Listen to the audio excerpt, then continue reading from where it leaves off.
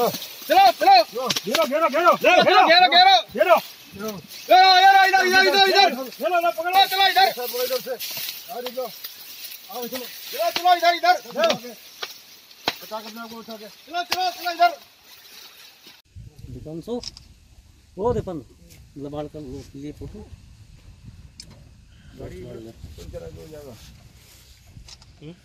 उसे गाड़ी को ले जाओ सर मुठभेड़ हुई है क्या पूरा मामला? ये कुछ दिनों पूर्व रतनपुरी गाँव के पास से राधना वाली रोड से एक डेयरी से कुछ भैंसें लूटी गई थी और उसमें बदमाशों द्वारा लगभग बारह भैंसें लूटी गई थी। इस, इस इसकी एक सूचना आज पुलिस के पास थी कि, कि भनवाड़ा भट्टे के पास जंगल में उन भैंसों के साथ कुछ जो भैंस लूटने वाले वक्त हैं वो साथ हैं। इस पर पुलिस द्वारा उनकी घेराबंदी का प्रयास किया गया।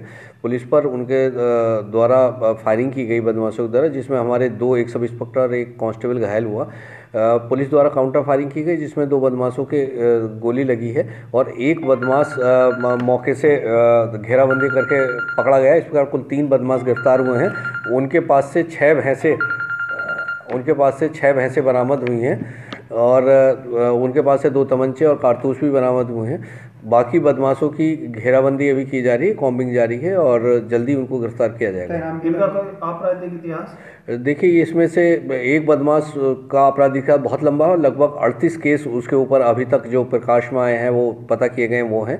इसके अलावा दूसरे अभियुक्त का भी आपराधिक इतिहास है और इन पर दो इन दोनों पर मेरे जो घायल बदमाश हैं उन पर पच्चीस पच्चीस हज़ार रुपये का इनाम मेरे द्वारा घोषित किया गया था।